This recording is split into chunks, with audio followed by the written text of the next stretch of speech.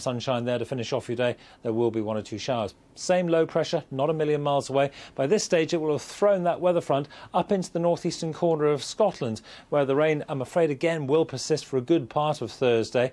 Further away towards western and southern areas, there will be a scattering of showers, which in their own right may well merge at times to give a longer spell of rain, particularly for Northern Ireland, maybe the far west of Scotland. And here on to Friday, oh dear, oh dear, same area of low pressure, keeping the shower supply going. Notice that front is still there, draped across that northeastern corner of Scotland. Scotland. So not great news for the Northern Isles, I'm afraid. Plenty of showers in the Western Isles and the north of the mainland. And elsewhere, a scattering of showers, but quite a bit of dry weather and the temperatures just beginning to recover too.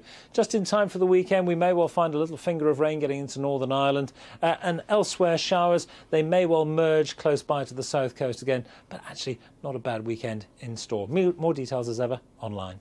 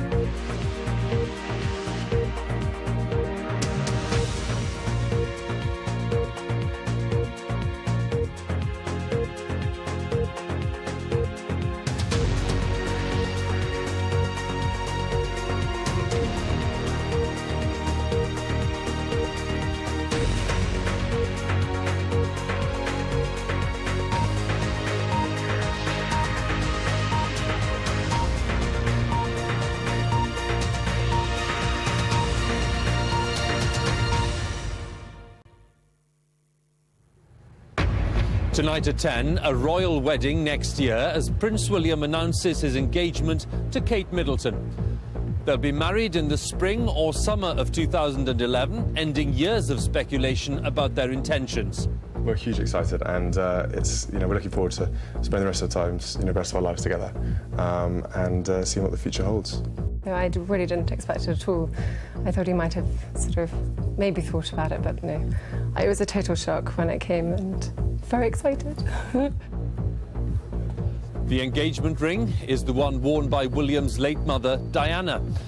William's father added his voice to those expressing delight at the day's news. Obviously, it's thrilled, thank you very much. Practicing for long enough. They met as students nine years ago, since when the prince has got to know the Middleton family very well. They make a lovely couple, they're great fun to be with, and we've had a lot of laughs together. We wish them every happiness for the future.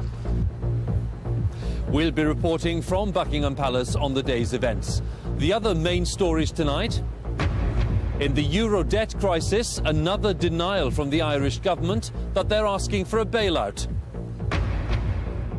In Afghanistan, NATO commanders say they're forcing the insurgents out of the towns and into the desert. As British troops carry the fight to the Taliban, we have a special report on whether Afghan forces are anywhere near ready to take over the burden. And relics of wars past. Will today's coalition go the way of previous foreign interventions here? And coming up on the BBC News channel at half past 10, more details about the royal engagement as we broadcast the Prince William and Kate Middleton interview in full.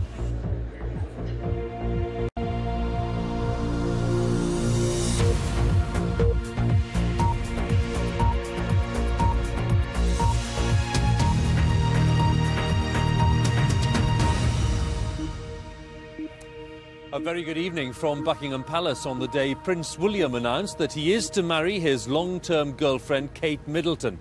The couple became engaged while on holiday in Kenya last month.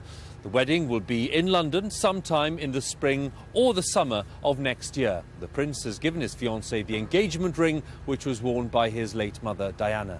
And today's announcement brings to an end the intense speculation about the couple's intentions.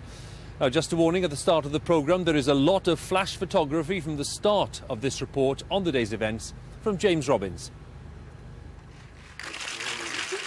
First sight of Prince William and Kate Middleton as a couple engaged to be married. A blitz of flashlight for a man and woman who've known each other for nine years and have now decided to move on to marriage. So, how does Kate feel about joining the royal family? Well, it's it's quite a, a daunting prospect, but um, you know, hopefully I'll take it in my stride. You know, William's a great teacher, so hope he'll be able to, to help me along the way, and I really look, look forward to look forward to spending my time with, with William. He's very good at flattery. Prince William has given Kate Middleton his mother's engagement ring. The gesture is a poignant reminder both of Princess Diana's tragic death and of a marriage that failed. Well, as you may recognise now, it's, it's, my mother's engagement ring. So, of course, it's very special to me.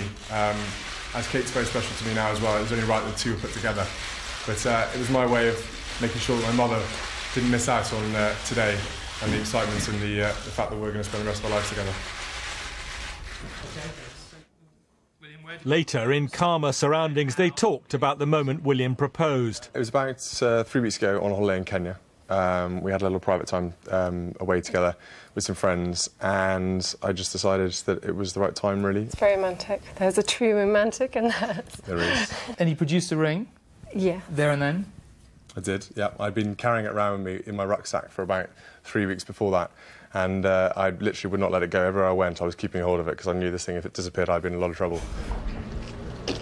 No doubting the Prince of Wales' pleasure today, even if there was a hint that he'd been expecting his son's engagement long ago.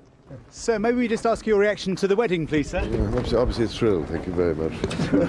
Practicing for long enough. It's the most brilliant news, and I'm, I'm just so happy for both of them. They are so happy, and it, it's wicked. Brilliant. Thank you very, very much. Thank you. The Prime Minister came out of number 10 to give his reaction. I was given the news in a cabinet meeting. I was